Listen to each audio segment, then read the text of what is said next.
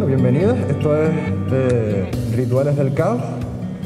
Eh, algo que yo no sé todavía muy bien lo que es, pero consiste un poco en, crear, en provocar una serie de encuentros que, pretenden tener un poco la forma de rituales, pretenden ser eh, o aspiran a ser descolonizantes, ¿vale?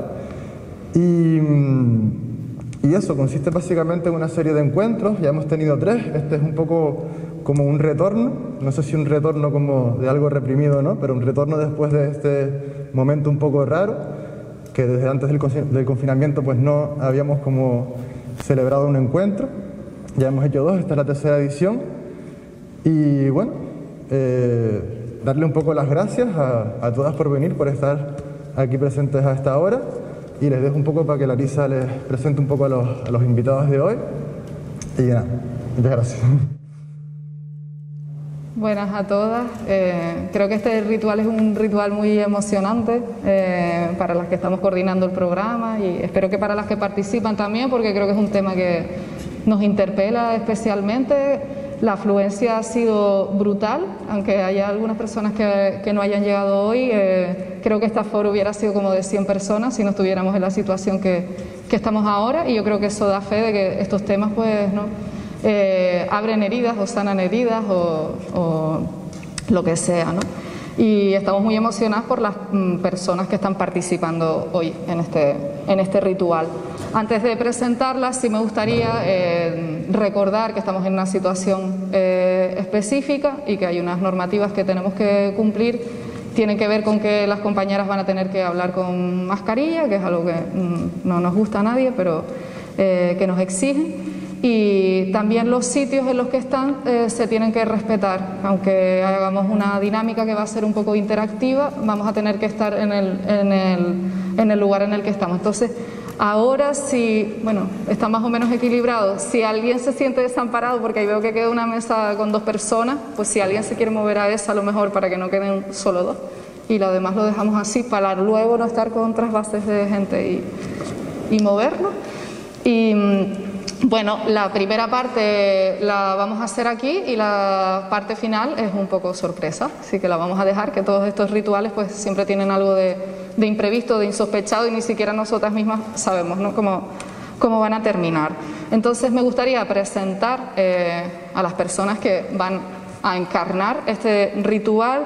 La primera de ellas es Melinda y viene desde Las Palmas, tiene 25 años, es fisioterapeuta en Gran Canaria. Y bueno, Melinda pues transita espacios eh, afrofeministas, antiespecistas también y está pues en proceso de descubrir su negritud y en abrazo continuo con su animalidad. Y eh, es una representante en Canarias del colectivo Afrofémina.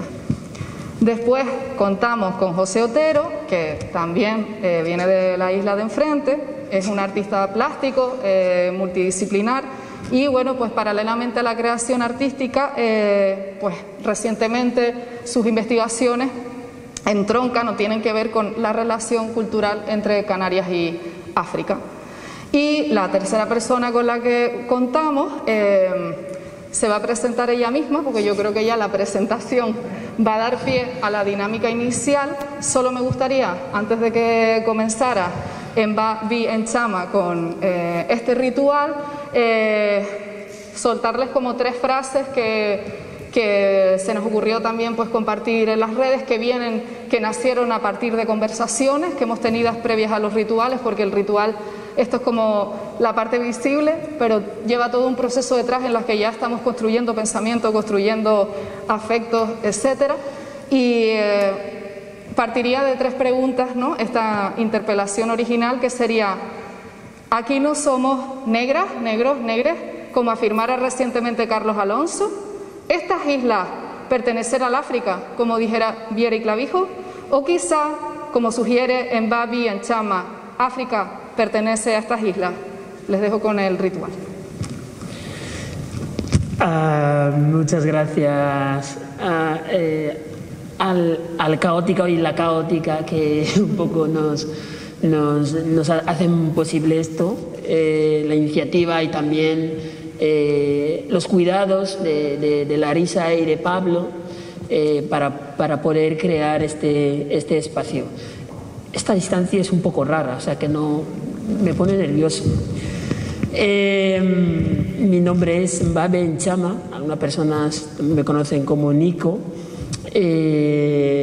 Mi, eh, nací en el enclave colonial que hoy se conoce como Guinea Ecuatorial. En realidad soy del, del, clan Obuk, del, del, pueblo Ekan, o Fan, como se llama nuestro pueblo que está en el África Central. Y una cosa que, quería mencionar también es un poco mi propia genealogía. Los pueblos, eh, el pueblo Fang es un pueblo patrilineal, por lo tanto los nombres eh, y a la hora de construir la, genealogía, que no es un árbol genealógico, sino, sino una cadena eh, hasta las divinidades, se hace a través de los, de los, de los nombres tradicionales del padre, del abuelo, o sea, un poco así.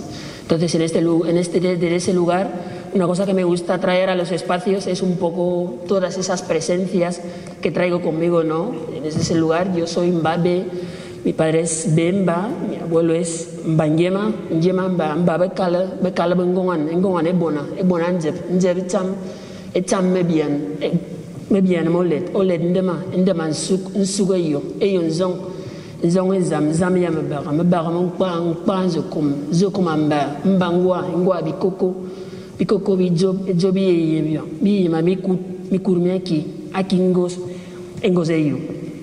esa es un poco nuestra genealogía que como les he dicho pues sería eh, por esa patrilinealidad y también podemos meter la cuestión del patriarcado eh, sería solo de, de hombres.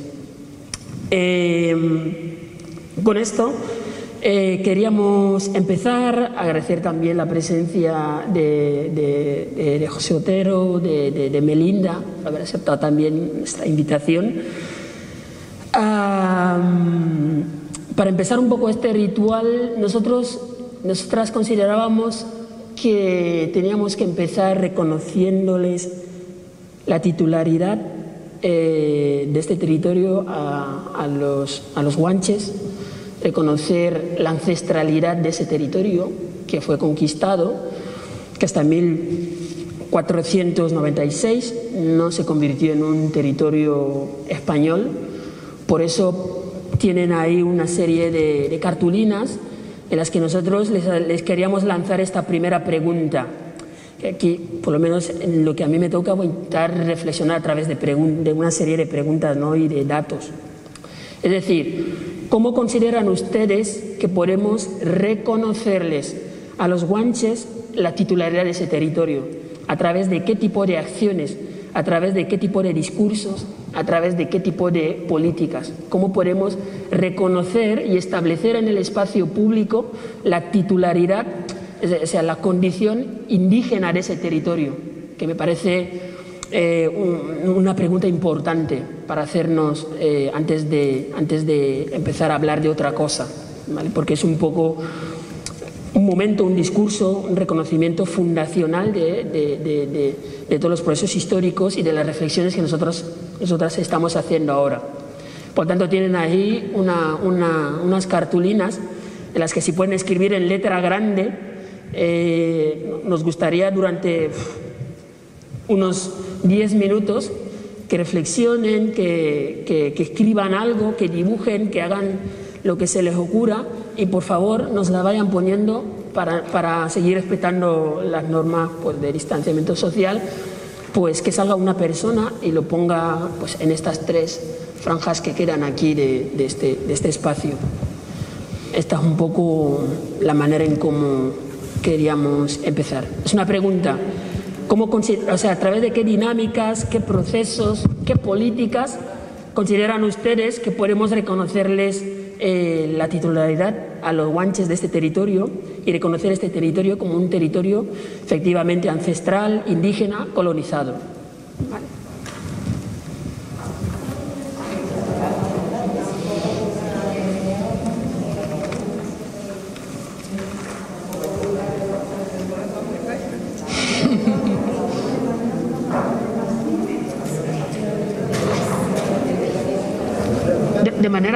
Como quieran.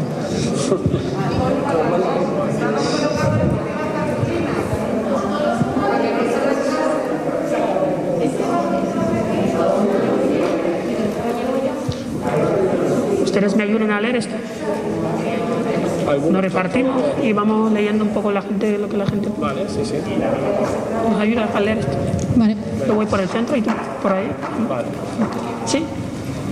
Muy bien. Vamos a ver un poco lo que va saliendo. ¿Vale? Vale, tenemos por aquí eh, el primero que leo, autenticidad, guanches, cuevas, fósiles, utensilios, grabados. Aquí, al lado de mis pies, eh, recuperar nombres de lugares, nombres, eh, recuperar lenguas, saberes, estudiar, difundir, renovar, crear imaginario y de ahí tenemos no- nombrar, representar en las rituales, prácticas, actos oficiales, educativos, cotidianos. Aquí cambiar la mirada y a dónde mirar los indígenas no solo está- los indígenas no solo están en el suelo sino en la tierra y en las estrellas. Por ello no son solo pasados, sino que su ine- inevitable presencia cambia el tiempo y el, el tiempo cambia las decisiones y las relaciones en el, en el subsuelo, nunca más el pasado. No sé si lo estoy leyendo bien. En el mar nunca. Ah, bien. Eh, en el mar nunca más una frontera, en el cielo nunca más aspiraciones de una modernidad de estrellas quietas, sino reflejos de un futuro en cambio.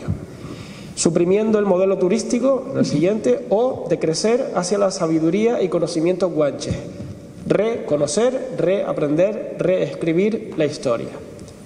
Creando nuevos mitos, redescubriendo la historia. Solo parte de lo, de escrito por los cronistas europeos es verdad, los escritos del África del Norte.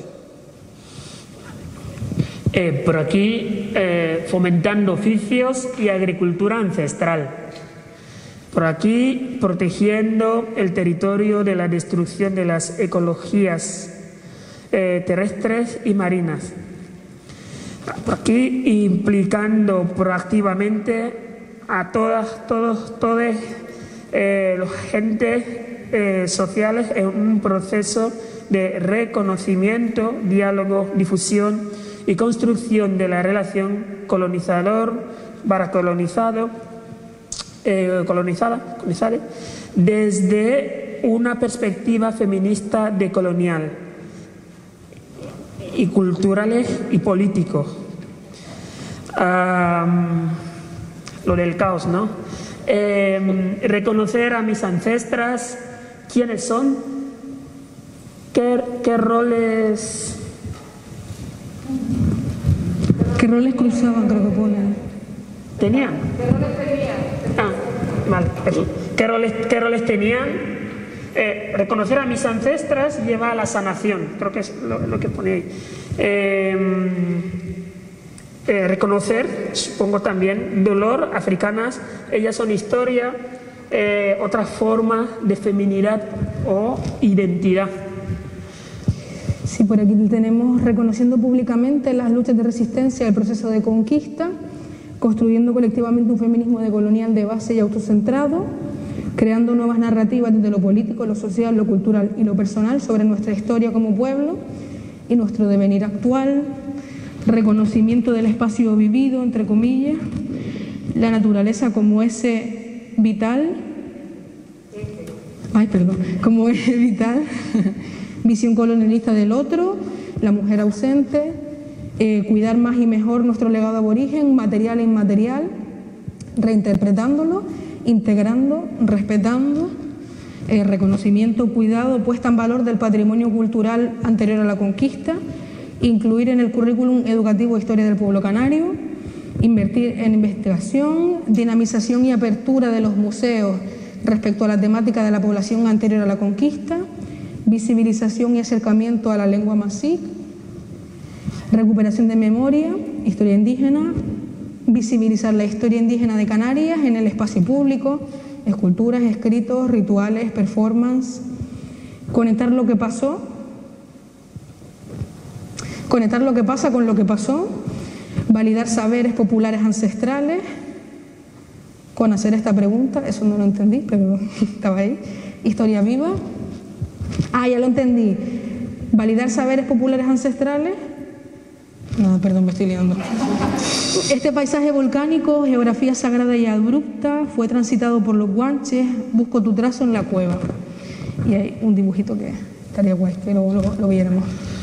Muy bien, muchísimas gracias. Eh, ahora que lo, terminamos de leer, luego se me está ocurriendo que hubiera sido guay si la propia persona hubieran leído su, su propio discurso. La próxima vez.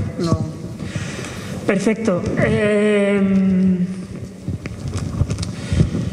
y, sea, partiendo de aquí, partiendo de este, de este espacio, de esta dinámica, de este pensamiento colectivo eh, sobre, sobre los guanches y las guanches, sobre el, esos ancestros y ancestras, pues vamos a intentar pensar un poquito, no vamos tampoco muy bien de tiempo, eh, la pregunta que nos, que nos hacían, ¿no? que es pensar un poco esta relación entre Canarias y, y África, históricamente y actualmente. Entonces, Uh, desde mi punto de vista y desde el lugar político desde el que hablo, que es el panafricanismo, y una organización en concreto, que es el Movimiento Panafricanista, del cual soy portavoz de hace más o menos año y medio.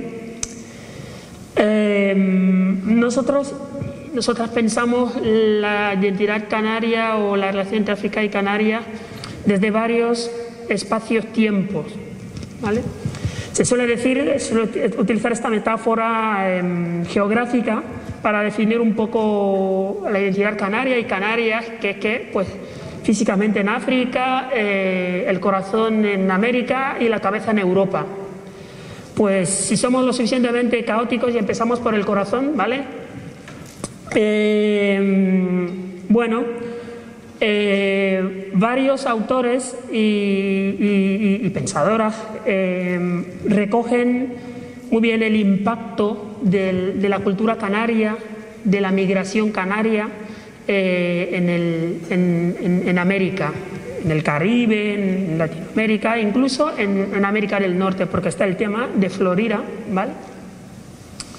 Pero muy pocas reconocen o construyen un relato que reconozca bien, claramente, con nitidez la colonización canaria de esos territorios.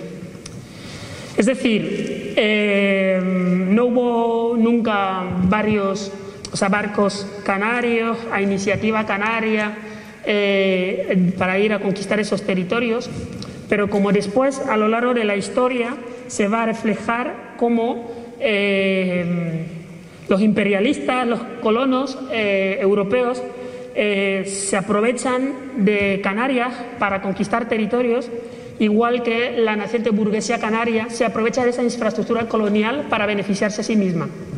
Por lo tanto, en, varios territorios en, en, América, pues hubo una colonización canaria bastante fuerte. Eh, entonces, no todo el mundo, porque está muy presente este relato de migración canaria, no todo el mundo fue como, como colono, porque los españoles lo que necesitaban eh, ocupar el terreno. Se puede ver muy bien ahora con lo que está haciendo Israel en Palestina, es decir, una vez que ocupa un espacio necesita poblarlo, necesita que, que viva gente ahí. Y esos son, son colonos, técnicamente.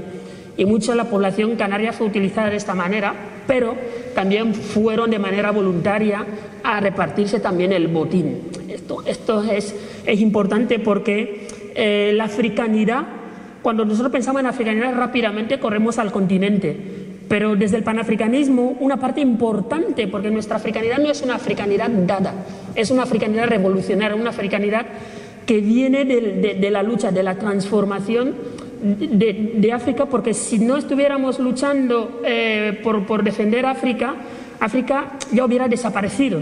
Es decir, no, no, África no existe ahí como un elemento dado, como una cultura tranquilamente evolucionando a su ritmo, sino que África, la que conocemos antes de las colonizaciones, porque han sido varias, eh, ha desaparecido. Entonces, la que estamos reconstruyendo desde el panafricanismo es una África revolucionaria. Esa africanidad tiene también una parte importante en su diáspora. Y justo en el Caribe y en América Latina es donde nace el panafricanismo. Es decir, toda la población africana que fue esclavizada, que fue llevada a esos territorios,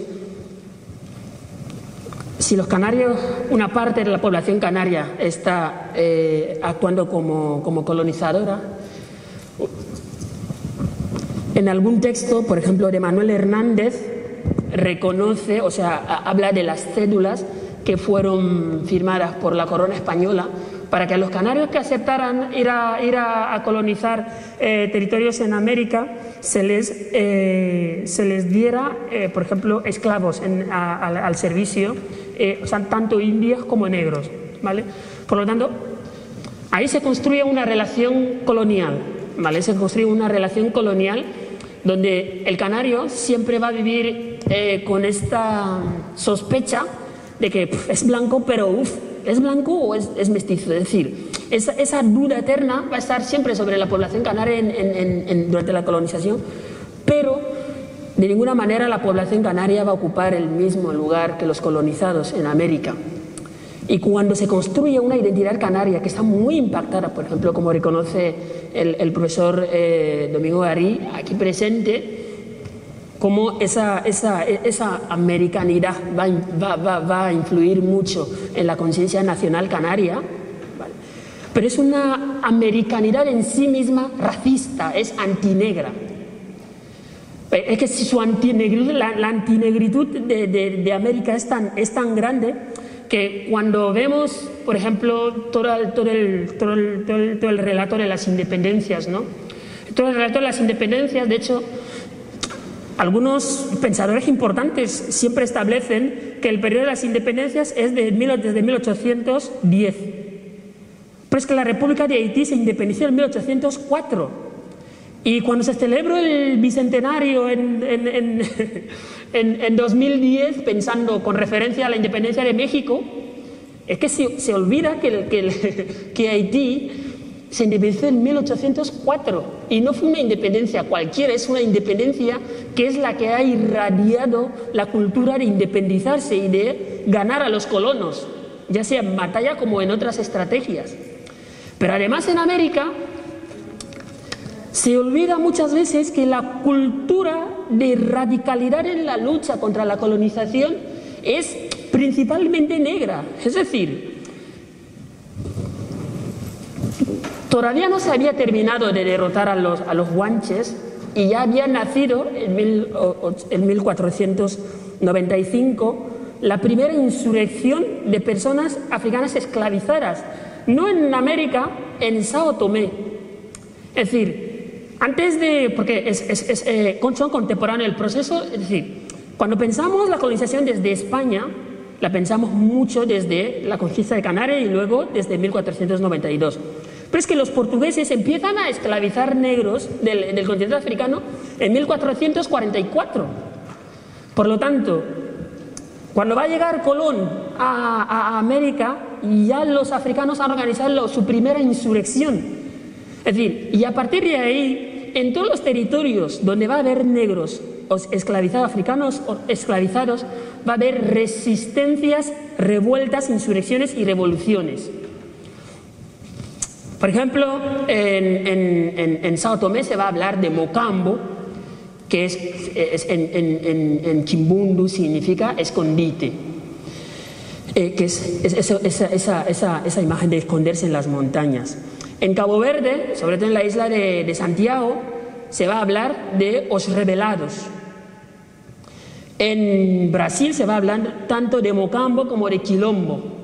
En Venezuela se va a hablar de, eh, de cumbes. En Colombia se va a hablar de palenque. En otros, es decir, en Jamaica se va a hablar de, cimarronaje, que es este, este, este, este término que luego se extendió a todos los movimientos de lucha de las personas africanas esclavizadas. Pero la cultura de independizarse es una cultura eh, africana negra en América.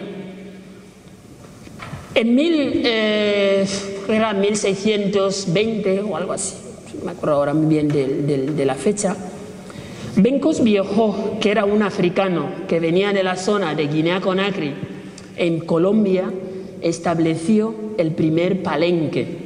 Y ese palenque fue reconocido por la administración española, por la administración colonial española, por la corona española, como un territorio libre. Por lo tanto, la primera independencia, o sea, cuando se va a hablar del, cuando los procesos de independencia van a llegar dos siglos después, ya los negros los habían empezado a crear en los mismos territorios donde estaban, donde estaban siendo esclavizados. Igual que eh, unos años antes, en, México, Gaspar Yanga eh, y, sus compañeros crearían eh, eh, el palenque de, de, o sea, crearían un territorio libre en San Lorenzo de los Negros. Y así sucesivamente es que el culmen de todas esas revueltas, insurrecciones y revoluciones va a ser la revolución de Haití, a empezar en 1791. Esa revolución que es desde nosotros el movimiento panafricanista, porque eh, es la única que reconocemos como una auténtica revolución, porque los negros que eran en ese, en, ese momento, los negros tenían la misma categoría que una mesa, es decir, eran propiedad, eh, como, como, como una mesa, como una silla. Que los negros salgan desde ahí abajo, vencer a los ejércitos napoleónicos, británicos, españoles presentes en la isla y crear una, una, un, un, Estado, un Estado que además va a ayudar a independizar a todos los, todos los territorios posibles de, de, de, de, de Sudamérica y además del Caribe, eh, a mí me parece que es una hazaña eh, histórica, es un punto de inflexión en la historia universal, incluso que no se, no se cuenta, no, no se reconoce, porque Haití era la colonia eh, más, ¿cómo se dice?, más rica que, tenía Europa, que tenían los colonos europeos, tanto los franceses, los españoles, todo el mundo estaba ahí que la isla es eh, la española, que está repartida en dos, por eh, una parte es Santo Domingo y la otra parte es Haití. Entonces, que los esclavos hayan, salido hasta crear un Estado, además un Estado que no se llama un, como un nombre africano. Haití no es ninguna, ningún nombre en africano, Haití es un nombre de los indígenas que vivían en esa isla. Por tanto, la conciencia decolonial de, la revolución de Haití es palpable. Después, a partir de ahí, Haití, establecida como república, no solo va a crear eh, las independencias de las Américas con la condición de que liber, liberaran a los esclavos, cosa que Bolívar, por ejemplo, no hizo. Por tanto, empezamos, es decir, muchos reciben financiación y apoyo de Haití, pero una vez se liberan, se dan cuenta de que se liberan a los esclavos, se, se acabó la economía de ese territorio. Y entonces no liberan a los esclavos. Bolívar no lo hizo. Por ejemplo, en Venezuela la, la esclavitud se abolió en 1854, que es mucho después. Entonces, ese impacto que tiene Canarias en América y que tiene América en Canarias es un impacto que va solapado con esa antinegritud desde el principio. Es decir, por ejemplo, cuando dice Carlos Alonso que aquí no somos negros, pues todas las independencias de América se han intentado construir desde esa negación de Haití.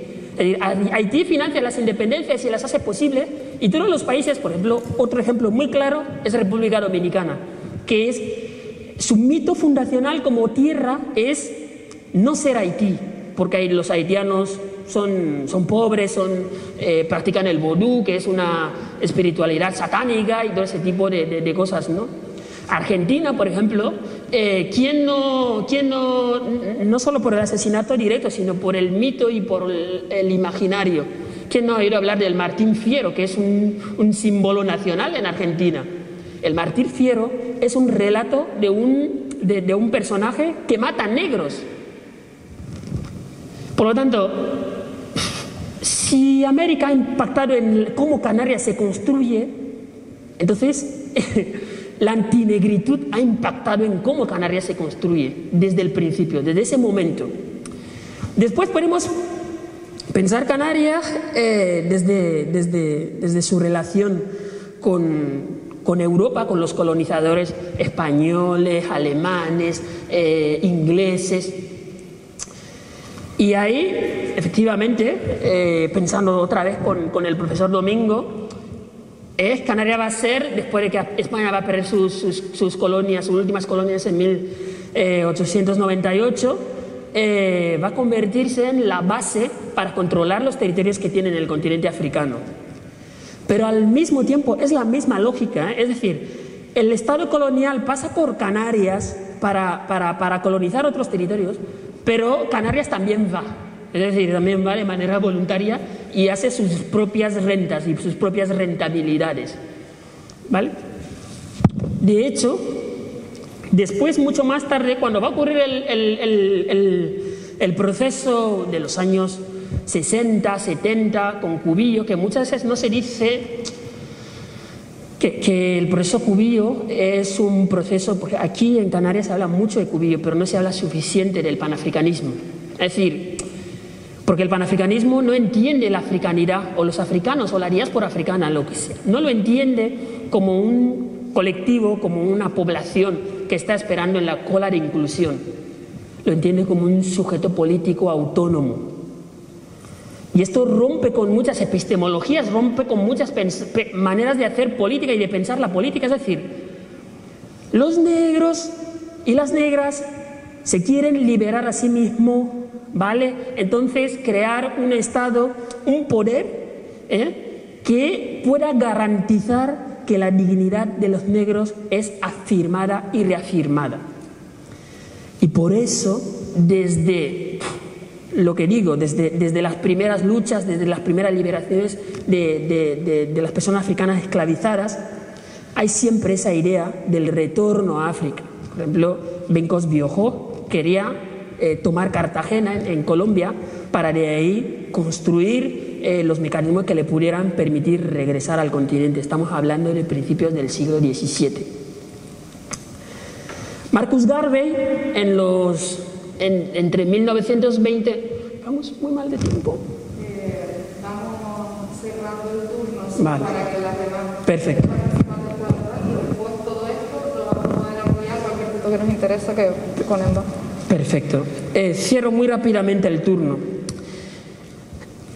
El último momento, espacio, tiempo en el que podemos pensar Canarias, este ese tiempo que va desde, los 60-70 con el proceso eh, panafricanista de Cubillo. Y, y, ahí es muy importante eh, decir la importancia que ha tenido el, el, panafricanismo para la construcción de la identidad nacional canaria.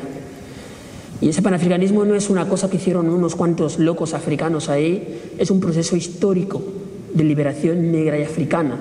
De hecho, las infraestructuras a través de las que eh, Cubillo consigue que tanto en 1968 como en 1978 se reconozca eh, que Canarias es un, territorio eh, eh, descolonizable, un territorio que pertenece al continente africano, como Nkrumah, Haile Selassie, eh, Julius Nyerere, Modibo eh, Sékou Touré, fueron los que construyeron la OUA, aunque ese no era el, proyecto inicial de Nkrumah, ¿no? Entonces, a pesar de eso, la canariedad que nosotros vemos hoy es una canariedad que sigue en esa dinámica de, construir, de construirse desde la antinegritud, sigue en esa dinámica de construirse desde esa negación de, su pertenencia a África, de, su, de, su, de lo que los, los negros y los africanos han hecho por Canarias. Es lo que, por ejemplo, pensando aquí también con, con Daniel Buraski, que se llama esa identidad liminal. Es decir, quien está en medio de los colonizadores y los, y los, y, y los negros, que no son humanos, ¿vale? Es el que más fuerza necesita hacer para separarse de los de abajo, porque tiene el riesgo de caer ahí. Por eso, el repetir que nosotros no somos negros, por ejemplo, el discurso de somos un poco africanos, a mí que a mí me encanta, me encanta muchísimo, de que somos un poco africanos, que siempre hay alguien que dice después, pues por lo menos geográficamente, ¿eh? que, hay que marcar muy bien los límites, no, no, no, en, no en otro sentido, lo somos geográficamente, ¿no? Entonces, a partir de ahí hay muchísimo camino que hacer, muchísimas, eh, muchísimos diálogos que, que construir, muchísimos espacios de trabajo conjunto desde el panafricanismo como, como una subjetividad específica, concreta, determinada y reconociéndola también con su, con su impacto y su trabajo a favor de Canarias. De hecho, Lorenzo Larte, que fue presidente del gobierno de, de, de, Canarias, reconoce él mismo que a través del proceso Cubillo, lo llama así el proceso Cubillo, ¿vale? no llama el, el proceso panafricanista, eh, se sacó ventajas a la hora de negociar el Estatuto de Autonomía de Canarias. Entonces, mmm, muy bien, gracias y disculpen por el tiempo. No, súper, súper.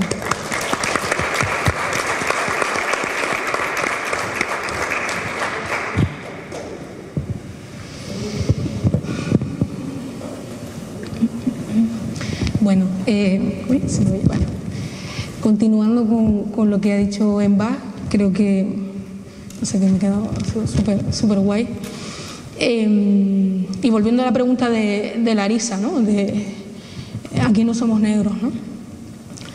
Eh, en esta pequeña exposición breve, que no tengo respuestas, ya les dije, tengo muchas dudas, eh, me baso en, tres ideas, tres ideas sencillas, un poco desgranando por qué hay esa idea ¿no? de que aquí no somos negros ¿no? en Canarias. Eh, la primera pregunta podría ser que quién dijo que Canarias era blanca, ¿no? Y que la blanquitud es lo normal o que debería ser lo normal en Canarias, ¿no?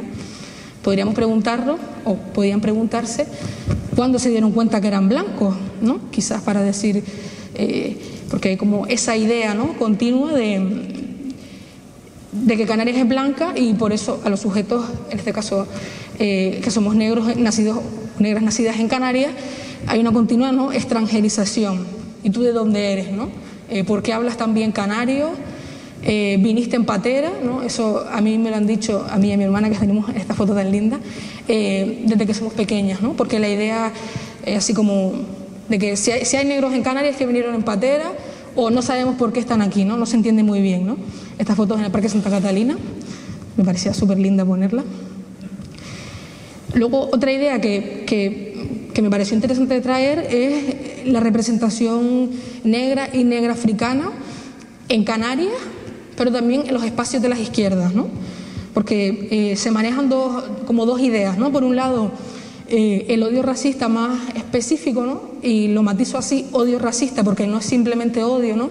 porque muchas veces bien intencionadamente hablamos de odio, tal, sí hay odio, pero es un odio racista, ¿no? Tiene un apellido y es muy concreto, ¿no? Y es, es importante visibilizarlo, ¿no? Está por ese lado, por un lado ese discurso y luego por otro lado el discurso paternalista, ¿no? Tenemos, esto este recorte de aquí arriba, que lo ven, se lo voy a leer, eh, es de Canarias 7, de ayer mismo, y, y lo pongo público porque es público y esta persona lo puso así, ¿no? Canarias no es África, ni África cabe en Europa, es macaronésica de origen volcánico y no se desprendió del continente. No le debemos nada a nadie, stop mafias, stop inmigración ilegal, ayudas en origen, devoluciones ya, ¿no? Esta persona, no se ve, pero eh, tiene, no sé si saben que en Facebook está la opción de, de, que si una persona comenta mucho en una página, se convierte en un fan destacado, ¿no? Esta persona, que tiene un nombre que no sé si es real o no, es un fan destacado de Canarias 7, ¿no? Y este comentario, que es de los más suaves, lo puedes encontrar tanto en Canarias 7 como en la provincia, en todas las publicaciones que hacen sobre el tema de migración, ¿no?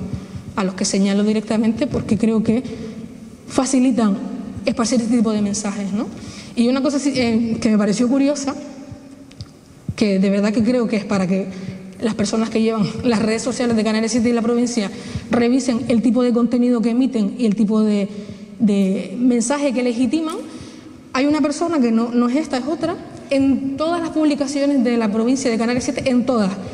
Había una publicación que me hizo gracia porque se estaba hablando de algo de Fuerteventura, de las aguas, y una persona ponía el mismo mensaje, ¿no? Un mensaje de eh, el sur de Gran Canaria está siendo invadido, ¿no? Como todo muy conspiranoico, hay una invasión silenciosa que no se dice, según esta persona, y lo comentaba en todos lados, ¿no? Y eso se permite y se deja ahí.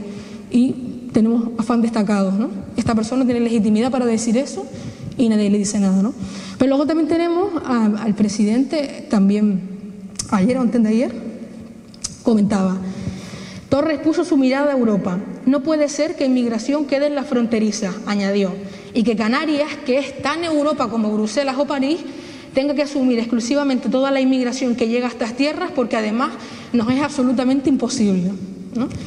Y aquí recuerdo que las islas son un pueblo solidario, pero responde que las infraestructuras del archipiélago, por su mera condición de isla, son limitadas, señalando además que un pequeño porcentaje de estos migrantes, un 5,6, eh, llega contagiado de coronavirus, lo que hace necesario que se les aísle. Y esto lo dice el, presidente de, nuestra comunidad sin despeinarse. ¿no? Y tengo una cifra que la quería leer. ¿no? en marzo de 2020 llegaron a Canarias en avión, en marzo de este año, 517.624 personas, por los motivos que sean, ¿no? 500.000 personas a siete islas y en 2020 hasta septiembre habrían llegado eh, en patera 4.700 personas. ¿no? 4.000 personas son un desborde que supera las infraestructuras y que Canarias está en Europa como, como París, ¿no? pero 500.000 personas son totalmente asumibles por el territorio.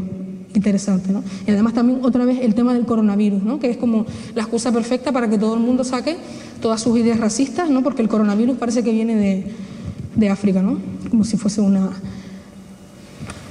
Y luego además es interesante, ¿no? Em, en este paternalismo de las izquierdas, no solo me refiero de partidos, sino de los espacios de izquierda, ¿no? que creo que deberíamos hacer autocrítica ¿no? y revisar qué discursos estamos emitiendo, eh, tenemos eh, cuestiones como, ¿no? esta persona dice ayudas en origen, ¿no? pero eso es algo que se escucha bastante, ¿no? No, es que hay que ayudar en origen, tal, no sé qué, ¿no? Cuando realmente lo que quieren decir y en lo que se traduce esas ayudas en origen es reforzar las fronteras, por ejemplo, de Marruecos, con más violencia, y hasta esas son las ayudas en origen. ¿no? A lo mejor sería interesante ver por qué por qué está, ciertos países de, África tienen ciertas eh, cuestiones que, resolver, ¿no? A lo mejor es porque está la mano de, Europa sacando dinero, pagando para, para pegar a quien haga falta que, alce la voz, ¿no? A lo mejor sería interesante sacar las manos de ahí en vez de esas ayudas en origen, ¿no? Que simplemente es eh, más violencia, ¿no? Y luego también, mm, quizás no sé, yo vengo a plantear movidas, ¿no? Quizás es interesante, ¿no? Eh, que empezásemos a plantear con, honestidad ¿no? y con valentía desde los espacios de izquierda qué es lo que estamos haciendo realmente para, para resolver el problema del racismo. ¿no? Yo creo que eh, también se peca mucho, ¿no? con buena intención no lo dudo, de bueno, es que son gente que viene a buscarse el pan, son gente que aporta mucho al país, son gente que trabaja un montón, son gente que no consume ayudas sociales, todo eso es verdad, obviamente, ¿no? Eh, pero eso es verdad porque se pone la zancadilla, ¿no? Para que nadie que no sea eh, nacional del país pueda acceder, ¿no? A las cosas. Pero todas esas buenas intenciones siguen, siguen deshumanizándonos, ¿no? Y siguen objetizándonos, quiero decir, a lo mejor podemos sentarnos y, mirarnos a los ojos y hablarnos como sujetos, que es lo que somos, ¿no? No somos todos iguales, no tenemos las mismas circunstancias y a lo mejor ahí radica el problema, ¿no? Porque luego, ¿qué pasa? Que cuando las personas negras y negras africanas no se ajustan a esa idea que hemos creado de persona trabajadora, súper chachi, eh, es que súper guay, es que baila, cuando no se ajusta, uy, tenemos un problema, ¿no? Y ahí es cuando la gente muy fácilmente dice, bueno, pues se vayan a su país, si no te gusta, te vas, ¿no? Todas esas, todas esas ideas. Esta cita me, me, apetecía ponerla, que es de un sacerdote burundés, Michel Cayoya, dice, que te desprecie un hombre, pasa. Te acuerdas de eso un día y luego se pasa. Que un pueblo te desprecie a ti, a tu padre, a tu madre, a tu pueblo, es el colmo. Es el colmo de la indignación que un corazón humano puede digerir. ¿no? Y luego quería terminar ¿no? con, con, con esta idea de aquí no somos negros, ¿no? Aquí no somos negros porque aquí no somos negros, aquí tenemos derecho a la vida, ¿no? Es lo que quería decir este político, ¿no? Y realmente, ¿en qué se traduce todo esto, no? En que los cuerpos negros y negros africanos pueden ser violentados continuamente allá donde vayan, ¿no? Y se merecen todo lo que les pase, ¿no? De ahí podemos ver eh, todos estos vídeos en redes sociales. El otro día, una mujer en Playa del Inglés grababa a 30 personas ya asumiendo toda la historia de esas personas, porque no las conocía de nada, pero como eran negros, pues tenía que haber venido en patera y, todo, ¿no? Y grababa un vídeo que ruló un montón, en el que grababa a 30 personas, además la mujer los contaba, y decía, a ver si están, ella misma en su diálogo, ¿no? A ver si están con mascarilla y todo, pero, pero es que yo no entiendo qué hacen por aquí circulando tan libremente, ¿no? 30 personas que esa señora no los conoce de nada, ¿no? O también como pasó en, en playa de, en el sur de Gran Canaria, que coincidió eh, una llegada de, de embarcaciones, con que esas personas fueron asistidas en hoteles que estaban vacíos en el sur, pagados obviamente por el gobierno de Canarias, y justamente coincidió que en una piscina, en un hotel, habían nuevamente, incluso me parece más grave todavía, habían menores eh, negros bañándose en la piscina, ¿no? Y una persona vuelve a grabar, oh, que están aquí los hijos de los migrantes bañándose, los canarios, ¿no? Totalmente gratuito, no conoces a esas personas y además, nuevamente es esa idea, ¿no? Los negros no se merecen la vida, no se merecen disfrutar, no pueden ir a la playa, no pueden ir a la piscina, no pueden caminar tranquilamente por playa del inglés, por favor, ¿no? Qué fuerte. Eh, no sé, yo creo que esa es la idea que más me, me perturba, ¿no? No solo que es falso todo lo que estaban diciendo, sino que además eh, nos molesta, ¿no? Y un montón de comentarios que, que todas podemos ver en redes sociales, ¿no? Y, y, realmente finalizo un poco, porque para no enrollarme demasiado, eh, con otra cita de Chinua Achebe en, en el 89, ¿no? Decía, esta es la revolución que yo quiero abrazar, ayudar a mi sociedad a recuperar la fe en sí misma y a dejar de lado los complejos de años de deshonra y autohumillación, ¿no? Y la foto de un proyecto de un artista, Niva Costa, que se llama Siestas Negras, ¿no? y quería terminar con eso, ¿no? porque parece que, que, que, no existe el derecho a que las personas negras estén tranquilas, disfruten, descansen, vivan, eh, se desarrollen plenamente. ¿no? Siempre es dos ideas, ¿no? o estamos delinquiendo o estamos trabajando duro para levantar el país de, de otro, ¿no? como nos quieren hacer ver. Y ahí termino.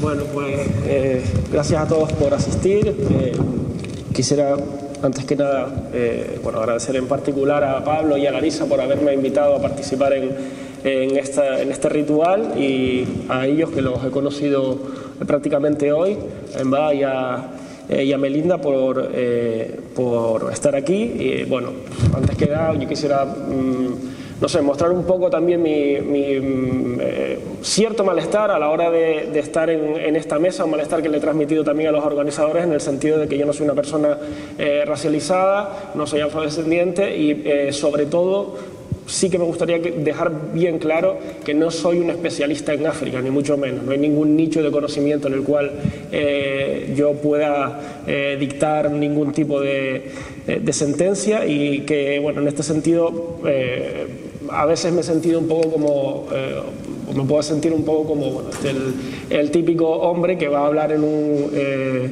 en una mesa de feministas explicándole a las mujeres pues, eh, de, qué, de, qué, va el feminismo. En cualquier caso, yo sobre África sé muy poco. He hecho un estudio, una tesis doctoral hace, eh, que presenté el año pasado, en donde lo que investigo en realidad es la idea, la imagen que tiene eh, Canarias respecto a África. Y esta imagen es completamente independiente de las realidades africanas. Eso quería que quedara bien claro. ¿no? De alguna manera hay una especie de desarrollo durante todo el, proceso histórico-cultural de, de, Canarias, hay un desarrollo de ideas estereotipadas, más complejas o menos complejas, que se han ido... Eh, que se han ido sucediendo eh, independientemente de lo que pueda haber pasado en, en, África. Y esas ideas son las que estamos viviendo, las que, digamos, mm, eh, organizan nuestro, nuestra, eh, nuestro día a día con África e incluso nuestra, nuestra mod, modelan un poco también nuestra, nuestra sensibilidad. ¿no? También desde aquí le quisiera agradecer al, al señor Carlos Alonso por su eh, desafortunado comentario. Eh, como ustedes, bueno, no hace falta explicar por qué es desafortunado. Eh, por otro lado, es muy afortunado porque el, hecho de ser tan explícito a la hora de negar la negritud eh, o la africanidad de Canarias lo que hace es darnos un ejemplo perfecto de lo que ha pasado históricamente en Canarias, que es eh, la negación activa de África. Muchas veces hablamos de que en de que Canarias está, bueno, uno de los estereotipos que hay por ahí rulando siempre es el de que Canarias está, ha estado siempre de espaldas a África. Esto no es del todo correcto. Canarias ha hecho un esfuerzo, Canarias se ha, mm, puesto de espaldas a África de una manera activa desde el inicio de, la conquista de Canarias, que ya de por sí es un acto de genocidio africano. Los guanches naturalmente son eh, africanos a pesar de la, todo el revisionismo que ha habido completamente superado ya, que ha intentado, eh, desde, el, mundo del conocimiento experto, ha intentado de todas las maneras posibles eh, encontrarle algún origen no africano a los, a los guanches. ¿no? Eh, hablaba de Carlos Alonso y aquí también tenía apuntada una cita de otro, de otro pájaro bastante eh, interesante que últimamente no está, no está dando mucho que hablar, gracias a Dios, que es el señor José Manuel Soria. Eh, que comentaba justamente eh, en la anterior crisis de, de la migración por mar en el año 2006, comentaba eh, les voy a leer ahora mismo bueno, esta cita que es muchísimo más eh, sobria que el exabrupto de, Carlos Alonso, muchísimo más peligrosa también, eh, más, entre comillas, intelectual, comentaba lo siguiente. La población no es previsible que aumente en Canarias. Probablemente se estanque en el entorno de un millón y medio, en un millón y medio con 300.000 personas inmigrantes que ya estarán allí en Canarias procedentes del África subsahariana.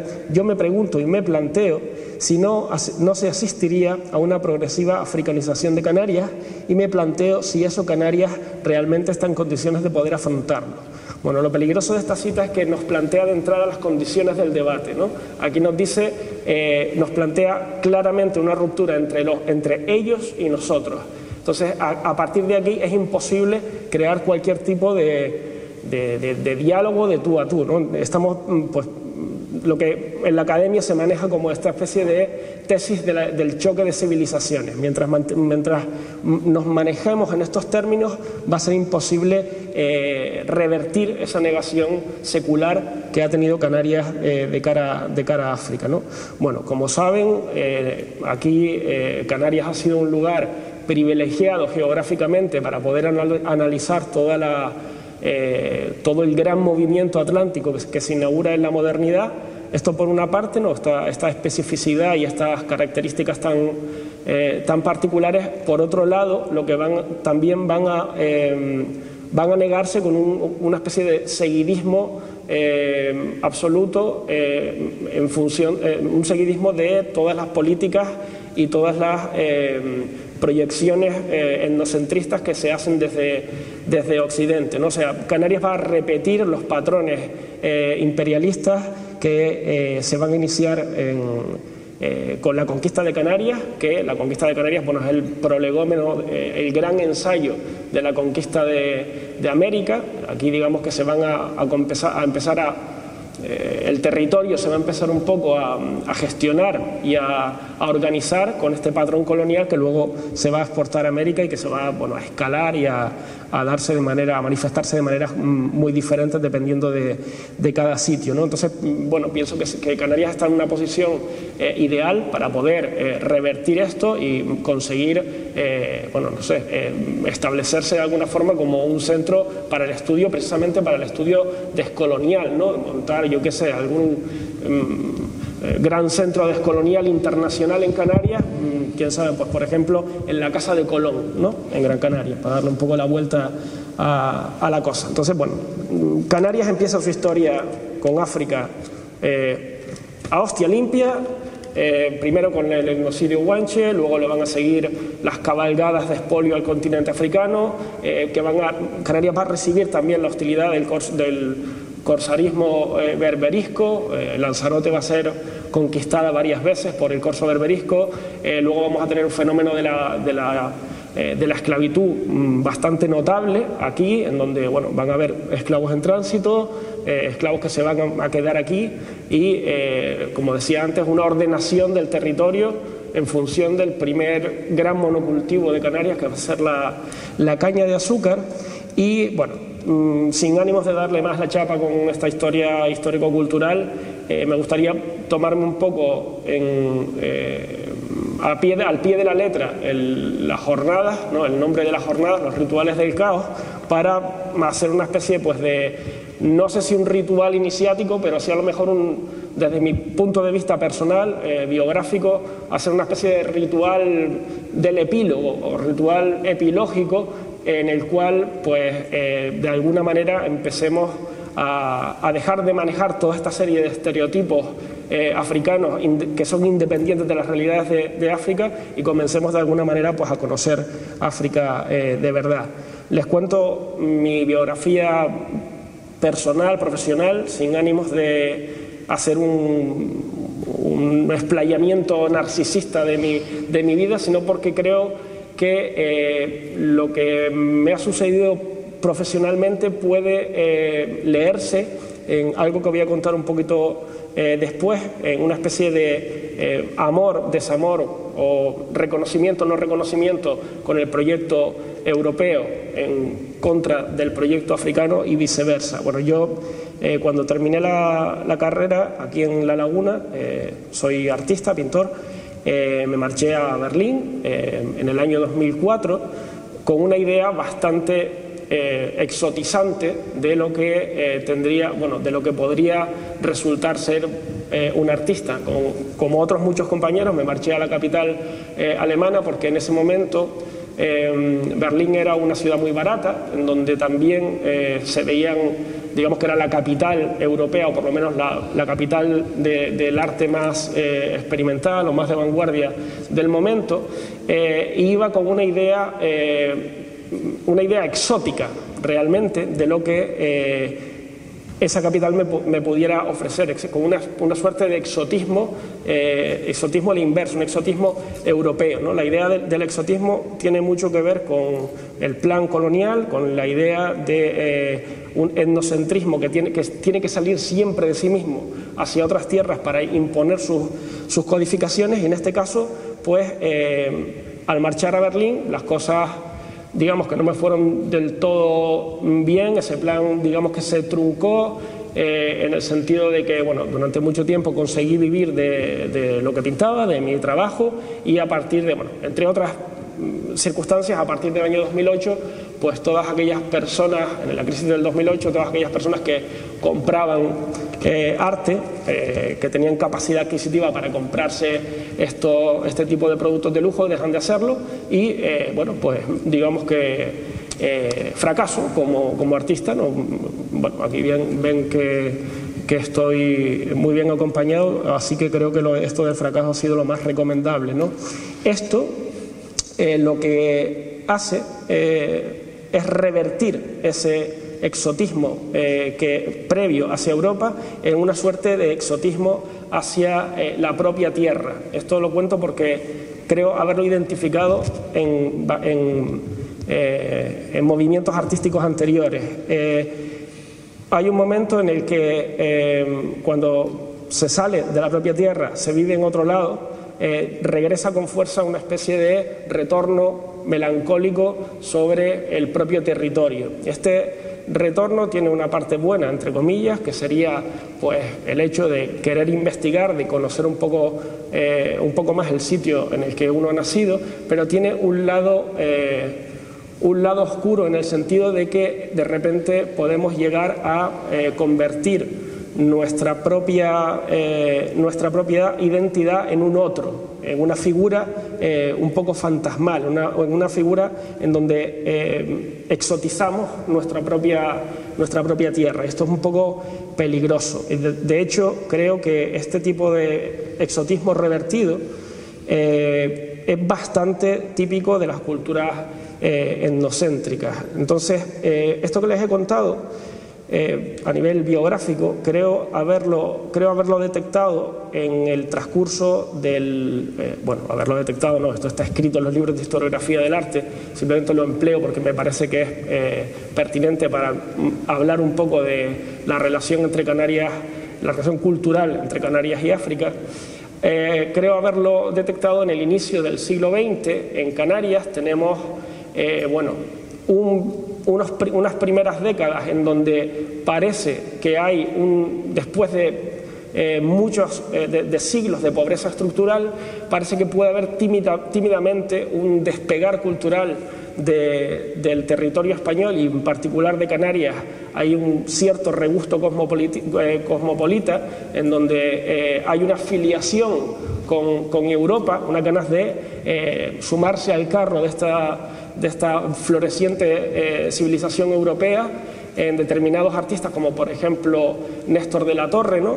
Néstor de la Torre es un, bueno, una suerte de criollo canario triunfador, un modelo, un tipo burgués, culto, eh, propositivo, abierto, eh, sensual, que a partir del crack del 29 y bueno, ya con el alzamiento franquista, em, este modelo, eh, esta afiliación, este, esta em, actitud propositiva hacia Europa se va a revertir en el movimiento del indigenismo canario. En particular, lo que lo que más he estudiado es eh, la figura de em, eh, Felo Monzón y de Plácido Fleitas, en particular la, figura de, Felo Monzón, y es un momento muy curioso en el que de repente empiezan a aparecer en la pintura canaria gente, aquí les tengo unos recortes de cuadros de Felo Monzón, gente explícitamente negroafricana. Esto dentro de la historiografía del arte canario todavía no se acaba de explicar muy bien, porque hasta los propios artistas más adelante, cuando vuelva a haber un nuevo, eh, un nuevo feeling europeo eh, en, la implosión del, franquismo, van a negar eh, el porqué o van a dar unas explicaciones un poco extrañas sobre por qué en este momento, bueno, aquí todas las imágenes que, les pongo son de, de Felo Monzón, de por qué pintan, de por qué pintan a esta gente. Bueno, yo planteo eh, varias posibilidades, bueno, se plantea dentro de la historiografía varias posibilidades de por qué esto es así y esto tiene que ver claramente con una maniobra eh, exótica, exotizante, exotizante y con una especie también de desilusión o de decepción con el, con el proyecto europeo. Bueno, ustedes saben que el arte, el así llamado arte moderno africano, es un invento puramente... Eh, el, primer arte moderno africano que hacen eh, Picasso y compañía, los primitivistas, es un invento puramente europeo. Eh, Picasso y sus amigos van a los museos, coleccionan máscaras africanas, patrimonio eh, expoliado durante la colonización francesa, y a partir de ahí utilizan estas máscaras para eh, incorporarlas de manera completamente descontextualizada en sus producciones sin tener en cuenta el significado que pueda tener en, las diferentes culturas eh, negroafricanas. Bueno, pues este impulso creo que es recogido por la vanguardia eh, bueno, por la vanguardia, por los representantes del indigenismo canario para manifestar o para expresar un tipo de desconexión eh, con ese proyecto europeo que, que podía haber representado Néstor de la Torre. Entonces aquí de repente, pues eh, resulta que los canarios son negros. Más tarde Felomonzón va a, incluso a repetir, a, decir varias veces que África nunca ha influenciado el arte,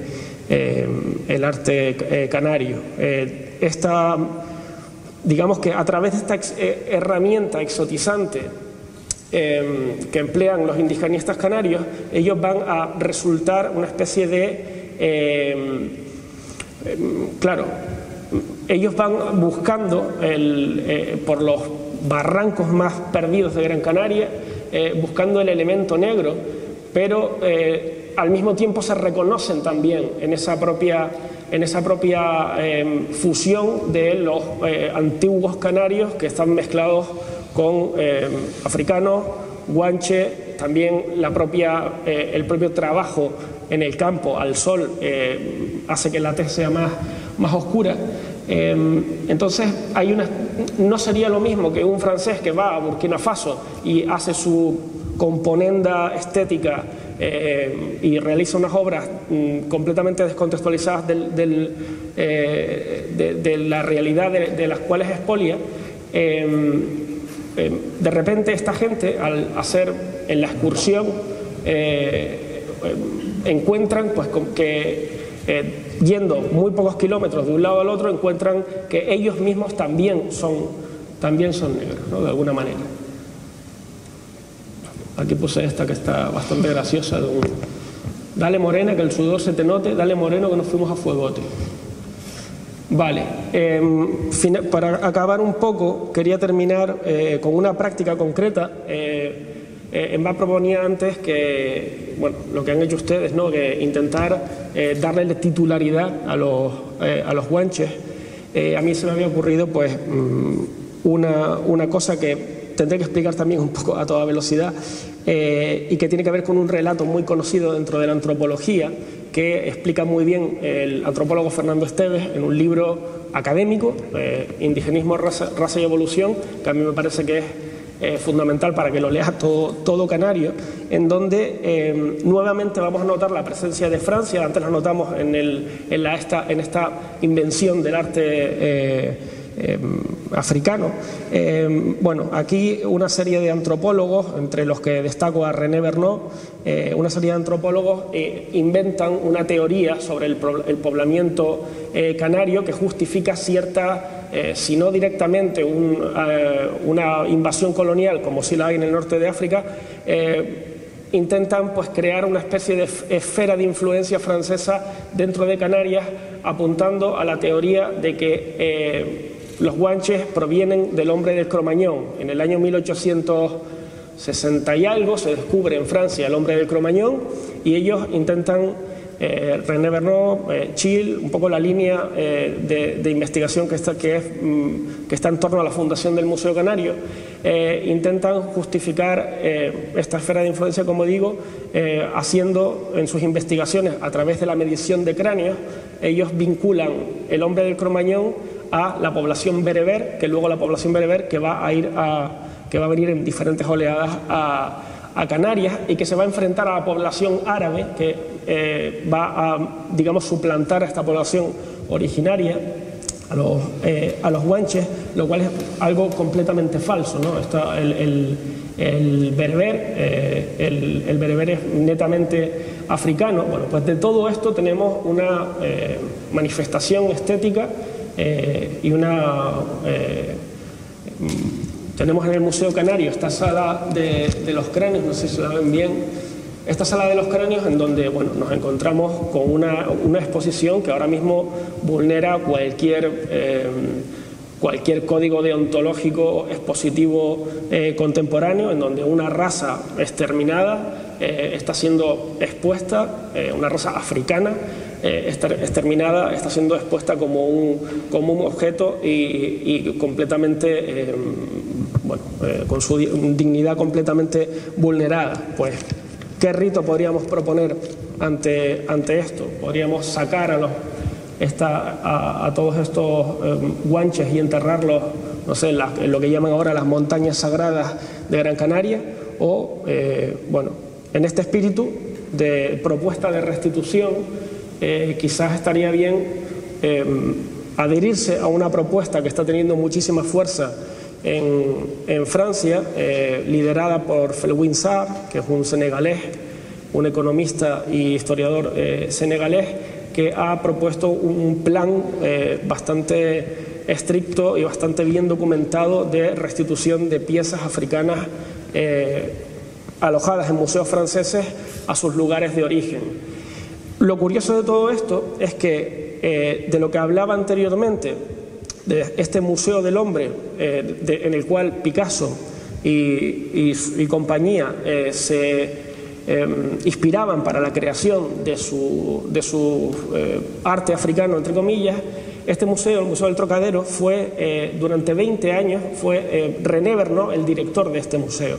Entonces, como que estamos cerrando un círculo que, eh, bueno, creo que estaría bien, a lo mejor, propongo yo, em, a ver, ¿por qué no me sale esta ahora? Bueno, pues otra.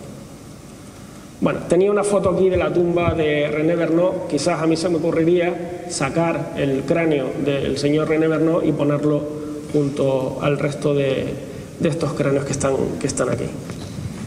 Nada más. Sí.